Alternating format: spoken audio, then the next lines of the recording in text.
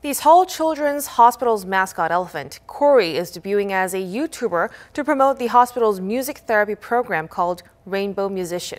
This program is composed of musically, musically talented children and teenagers with developmental disabilities. Ever since 2009, its members performed to communicate with others, and now they want to perform to console people going through the pandemic. The channel is not only about performance, Parents of those with developmental disabilities will turn radio DJ and introduce others' life stories. The hospital's medical staff will also appear on the program to deliver efficient information on how to take care of the children.